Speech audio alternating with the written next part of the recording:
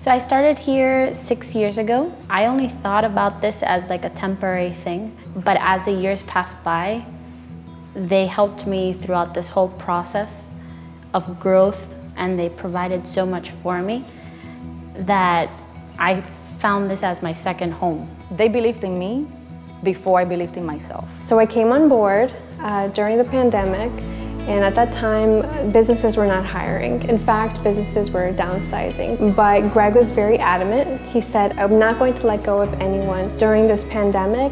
And he provided that security for so many people. It's not just about the law, it goes deeper, it's family.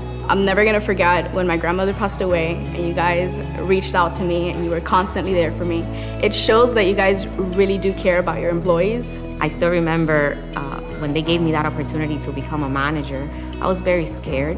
It basically made me believe that they really trust me. In my past life, I had never had someone trust me the way that they do. I now have a better relationship with my husband, a better relationship with my kids. There's nothing that I could do in this life to ever repay them for that.